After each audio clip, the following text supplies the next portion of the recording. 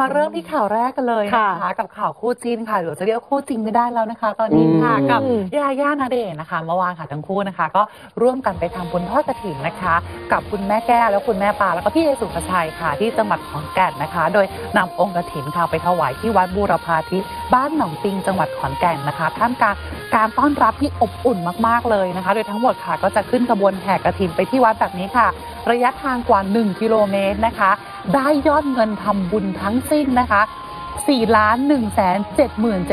77,965 บาท 50สตางค์ค่ะ ซึ่งทางวัดนะคะ ก็จะได้นำนำเงินนี้ค่ะ ไปสร้างอุโบสถค่ะ ก็ต้องขออนุโมทนาบุญกับทั้งคู่ด้วยนะคะต้องบอกว่าเขาเป็นคู่บุญกันจริง ๆนะคะ ควงคู่กันทำบุญตลอดเลยอืมซึ่งก่อนหน้านี้ค่ะ เมื่อวันที่ 28 ตุลาคมนะคะ ทั้งคู่ค่ะก็ไปทำบุญกันที่สวนพระพฤกษ์วัดป่าเขาเขียวจังหวัดชลบุรีค่ะ ไปทำบุญกันแต่มีโมเมนต์ให้แฟนๆได้อิ่มบุญกันด้วยนะคะอืมอิ่มมากๆเลยค่ะ เพราะว่ามันมีคลิปเนี่ยแหละค่ะที่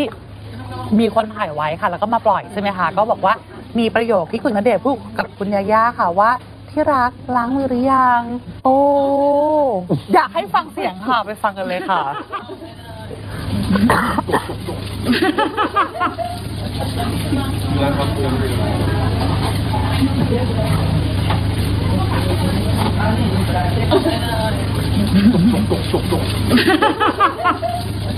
ได้ยินชัดไหมคะอะค่ะอืมประโยคตอนที่เขาล้างมือได้ยินไหมได้ยินไหมแววแววๆได้อะยินแต่ววๆไม่ค่อยชัดเขาเป็นอะไรที่ต้องพูดกันสองคนค่ะอ๋อมันจะไม่ได้ดังมาก แต่ว่าถ้าตั้งใจฟังเพราะว่านี่ไปเปิดฟังมาหลายรอบมากอ๋อค่ะชัดเจชัดนเลยใช่ไหมชัดชัดเลยค่ะอีกก็สักรอบได้ไหมอีกสักรอบได้ไหมไหนๆขอฟังให้ชัดสิอะอะอะ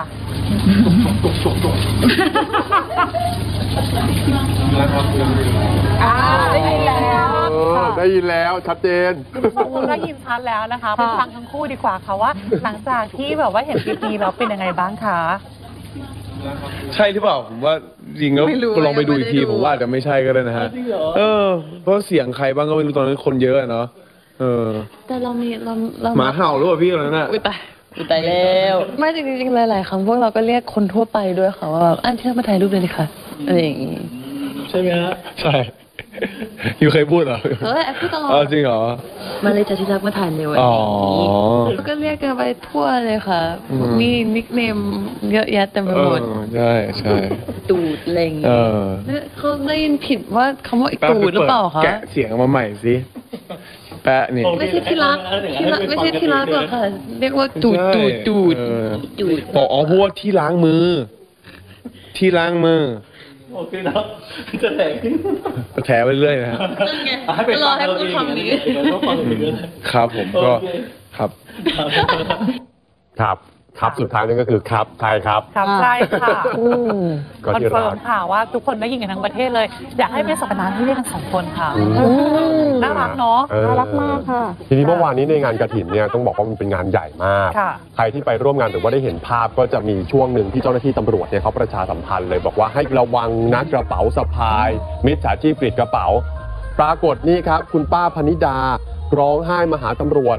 บอกกระเป๋าสะพายโดนกรีด เงินสด 40,000 บาทเอาไปหมดเลยโอ้ยคุณป้าพกเงิน40,000 มาร่วมงานบุญ ค่ะ หายไปหมดเลย คุณป้าบอกว่าขายของอยู่กรุงเทพ พอได้ข่าวณเดชน์ยาย่ามีงานบุญแบบนี้ก็อยากจะมาร่วมด้วย ก็เลยพกเงินมาก็ตั้งใจส่วนหนึ่งจะเอามาทำบุญ